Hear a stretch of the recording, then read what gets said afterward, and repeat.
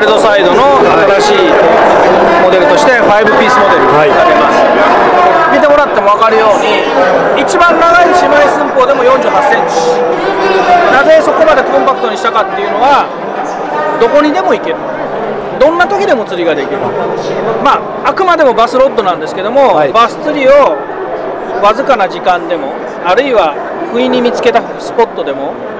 釣りしてほしい。それによってよりたくさん魚釣りができるようになるだろうというコンセプトでマルチフェイスモードを作る、はい、もう要はリュックの中に入ってしまう、はい、機内持ち込みサイズのスーツケースの中に収まるということで、はい、海外なんかちょっとちょい釣りしたいとか、ね、したい人も持っていけるし、あるいはアルバイトとか、学校の帰りとか、仕事の合間とかに釣りしたい人でも、釣り竿を持ってるのがバレないですよというのがあるわけです、はい、はい。これ専用のケースみたいなのもこれでついてあのねハードケースはつかないです、はい、なぜならば、はい、ハードケースって釣りするとき邪魔なんで、はい、もうあのー、黒クロスバックに入ってくる感じです、了解です。ありがとうございます、